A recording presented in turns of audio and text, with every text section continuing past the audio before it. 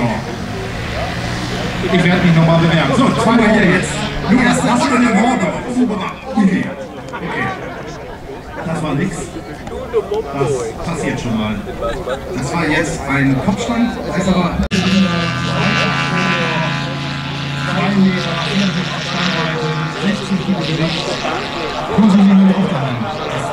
Man muss sagen, ich habe die als Streber. Du, was das ist? Die, die Strebermuster ist bei den Genau. in den USA. Genau. Was ich vorhin schon mal kurz angesprochen hatte. So habe ich den einen. Auch von Graf. Das ist auch ein, äh, wie sagt man, voll GFK, Glasfaser, Kunststoffflugzeug. Ich suche immer noch nach den technischen Daten der Focke Wolf. Da gibt es eigentlich zwei Hersteller. Also der eine ist Airworld, der so ein Ding herstellt, der andere ist Sist. Und entweder ist es eine Sist Focke Wolf oder eine Airworld Focke Wolf. Ansonsten gibt es noch den Tschechen, der. wie heißt der? Der tschechische Hersteller. Es gibt drei Hersteller, die sowas herstellen. Kriegen wir vielleicht noch raus. Nö. Kriegen wir nicht raus. Nö, frag mal Johannes. Johannes, was ist das für? Ich höre, es ist ein Airworld-Modell. Ist es ein Airworld?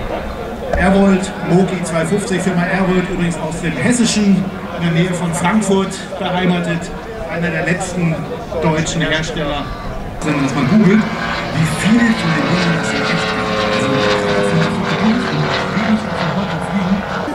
Mit Flugzeugkonzeptionen und Entwicklungen, die bis heute in der Flugzeugkonzeption man sich das überlegt, also Stück aus den USA rübergeflogen mit Air Corsairs, um die Flugzeuge in ähm, Eschen, Eschenbach, glaube ich, heißt es. Eschbach, genau. In Eschbach warten zu lassen.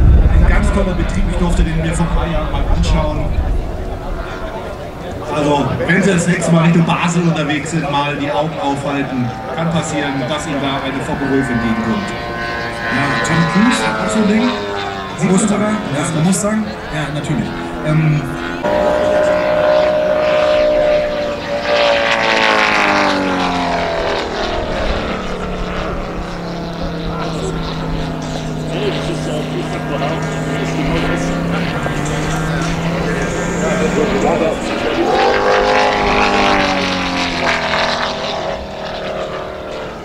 Ja, rein vom Fliegerischen her machen diese sogenannten Orbits da wirklich sehr viel Spaß.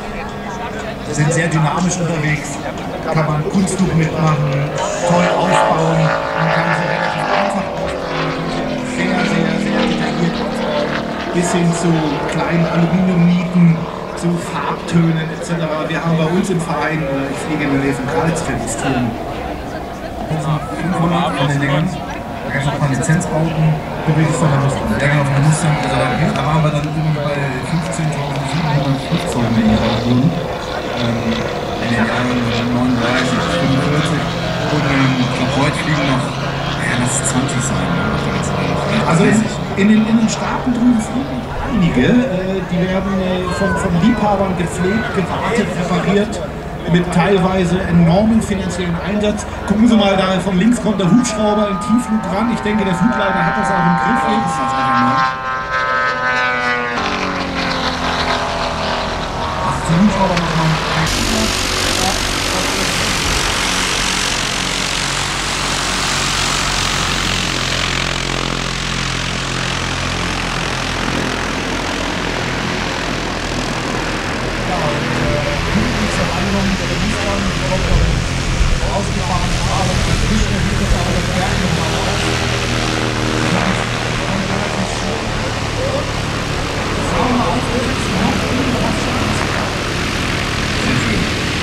Ich